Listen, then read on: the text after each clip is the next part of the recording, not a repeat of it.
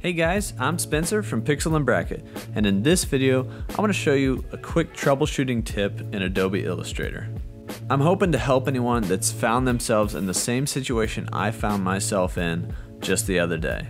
And that is that when I came back to my document, it looked like this.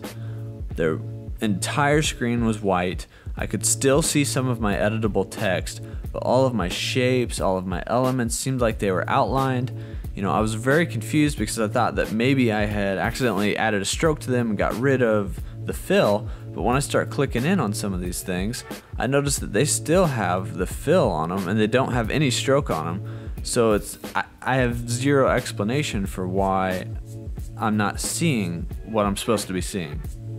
You'll also notice, that the the stroke on this line here went from being dashed with an arrow at the end of it and red to being a simple stroke with no extra effects. So what could be causing this? It's actually pretty simple. There's an option up in our view drop down that says outline. And if we click on that option, it'll switch everything to outlines.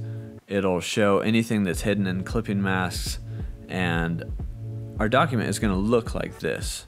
The shortcut key for that is Command Y.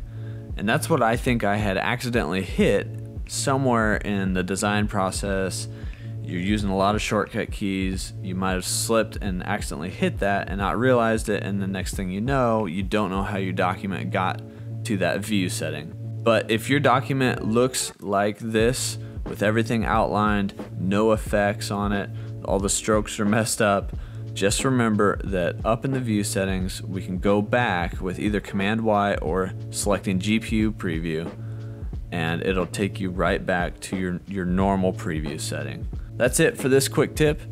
Hope I uh, taught you guys something and maybe some of you were in that mode, didn't realize it, and were able to get out of it.